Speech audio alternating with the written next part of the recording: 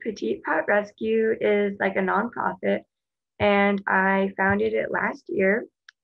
And it takes in hamsters, gerbils, and mice, and we foster them until they can find their forever home. So basically, what that means is we go out and we look on buy and sell websites. We look in the adoption program at PetSmart and Petco.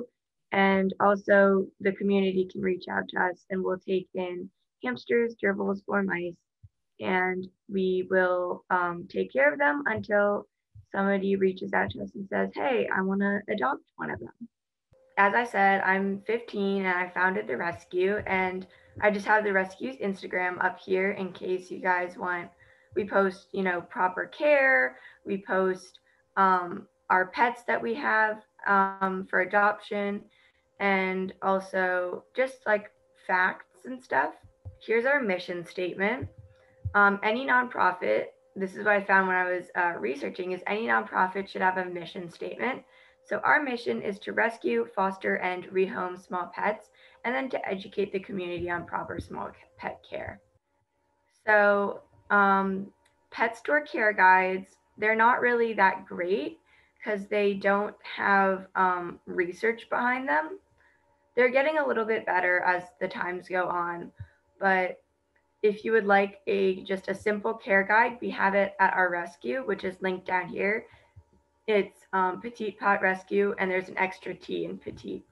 Um, so some improper care, some stuff you'll see at the pet store that I was talking about. These colorful mm-hmm. small cages they are so cute, but the thing is, that's the problem. They look like a toy and they're not like a cage.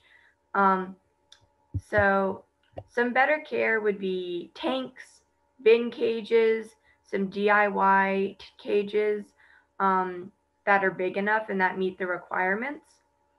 And those are really fun to make. Um, I have my gerbils in tanks. I made the lids. That was really fun. I have made bin cages for the rescue, and that was a really fun bonding experience with my parents. Um, so, yeah.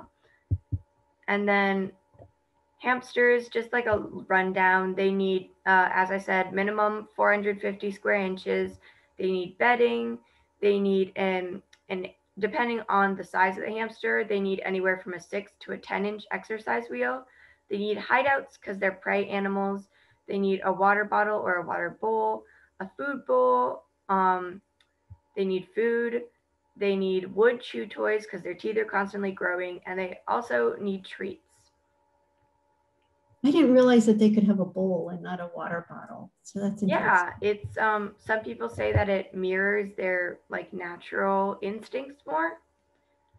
I have found that my gerbils like to go into the bowl and tip it over, so they have had their bowl privileges removed. So obviously, it just depends on the individual um, pet. But, and then gerbils are a little bit the same, but gerbils are big chewers. Anybody who has gerbils know that. Um, so they need a glass or an acrylic enclosure. That's the size of a 20 gallon aquarium minimum because they will chew any other enclosure. They will chew out of a bin cage, they will chew out of a plastic pet store enclosure. Oh, wow. Yeah, they are the biggest chewers of the rodent family. Um, they also need bedding, they need a wheel, they need hideouts, um, they need another gerbil because they'll get super sad if they aren't um, with another gerbil. Um, they need, again, water bottle or water bowl, food bowl, food, lots of chew toys, uh, emphasis on literally anything. They need wood chew toys that you buy from the pet store. You can take your paper towel rolls that at the end, just toss them in there. They'll have a field day running through them and chewing on them. Literally, they will chew on anything. Just avoid plastic. And then so my, all those um, fancy plastic cages that you showed at the beginning, I guess those are just for hamsters. Like they wouldn't, they shouldn't yeah, sell them. Well, they market them towards gerbils, which is really interesting because gerbils, especially since they'll be stressed since it's too small, they will chew right out of there and you will have a little escaped gerbil running around your room. Wow.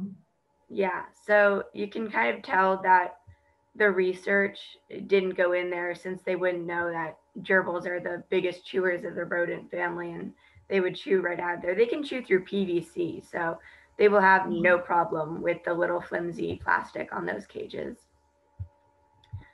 Um, and then mice, they need a minimum, bare minimum of 200 square inches. We kind of recommend bigger, um, but since they are a little bit smaller, they can uh, have minimum 200 square inches.